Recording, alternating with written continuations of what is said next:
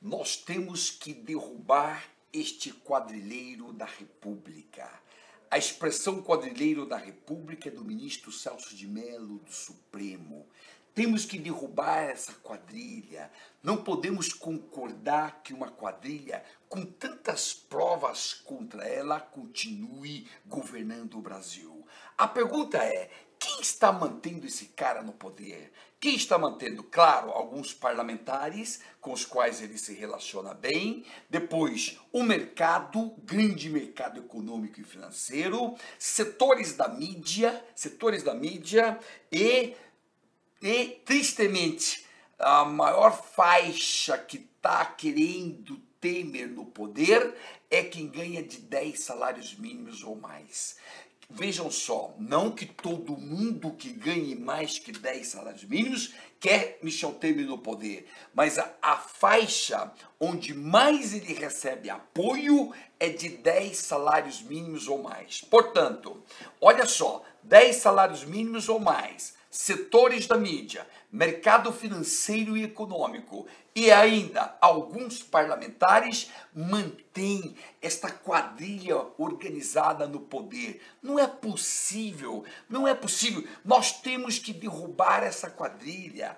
Outra anterior, petista já foi, agora tem que ir esta PMDBista e a futura, se vier de outros partidos, PSDB, etc., se é ladrão, não pode governar. Ladrão não pode governar o Brasil, ou nós não vamos encontrar saída para os nossos problemas. Eis então o tema. E agora, como nós vamos derrubar? O Loures está deliberando fazer delação. Já existe uma delação em curso de Lúcio Funaro.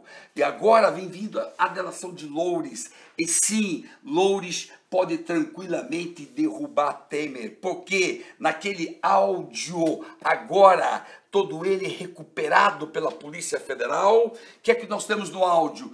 Temer indicou loures para os negócios da JBS. JBS procurou loures, fizeram o acordão que envolvia uma interferência no CAD e em seguida veio a primeira mala de 500 mil que ele recebeu e saiu aqui em São Paulo, pelas calçadas de São Paulo, correndo e desfilando com essa mala, que é uma mala, eh, em suma, que tinha os 500 mil reais.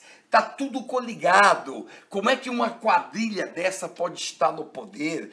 Como é que o Brasil continua governado por gente desse tipo? Como que o mercado quer um jeito decente de fazer negócios se o mercado apoia um sujeito desse? O mercado tem que trabalhar com a limpeza do Brasil. Os parlamentares têm que ter obrigação com a limpeza, com a sepsia, com a faxina de todos esses corruptos não é possível que o mercado, os da mídia e quem ganha mais de salários 10 salários mínimos ainda apoie, apoie alguém que inescrupulosamente está governando a nação. Não é possível imaginar isto. É de fato estarrecedor saber que bem pessoas categorizadas, não é o pobre não que está querendo ele no poder, não é não. As pesquisas não estão falando isso não. Ainda dizem que pobre não sabe votar. Na verdade, veja só, neste episódio, é, é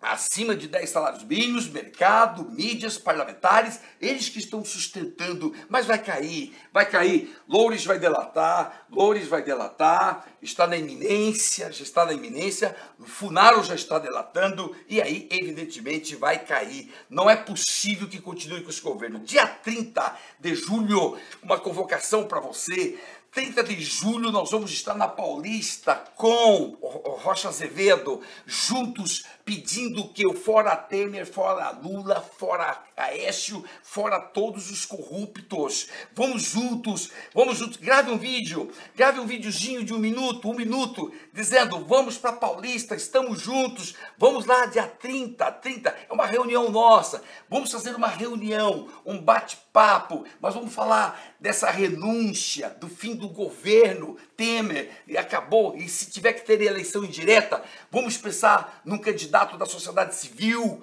vamos pensar em tudo isso, vamos discutir, vamos falar. Não é possível, não podemos ficar parados, não podemos ficar quietos. Não é possível que a sociedade brasileira engula tudo isso como se nada tivesse ocorrendo. Quem está aqui com a gente? Rodrigo, José Alves, Lívia, Darcy, Marta, Marta, eh, quem mais aqui? Eh, Rob, Robins, Dimas, muita gente, Luciano, Maria, todo mundo com a gente. Mandem, meus amigos, mandem um videozinho para nós, um videozinho, um minuto, um minuto. Mande um videozinho convocando para o dia 30. 30 de julho, 10 da manhã, vamos convocar. Já tem vídeos lá publicados na nossa rede. Vamos juntos, temos que derrubar esse governo corrupto e outros que vierem. Outros que vierem, nós esperamos, no entanto, que a faxina seja geral. Vamos juntos aqui. Quem está mais aqui? Edi, Carlos, Kátia, Maria, Maria, Xavier, Ricardo. Vamos juntos, gente. 30 de julho, todos juntos derrubar toda essa quadrilha. Quem são os ganhadores dos livros dessa semana? Alvino Fernandes, Roberto Cláudio, Alvino de Santo André, São Paulo, Roberto Cláudio, Maracatu, São Paulo, Salete Sete, Caruaru, Pernambuco. Três livros que nós então sorteamos às sextas-feiras. Aliás, esta foi a última sexta-feira, agora vamos só retomar em agosto esses sorteios. Bem, agora está aqui, olha, então o nosso livro já foi sorteado, os ganhadores.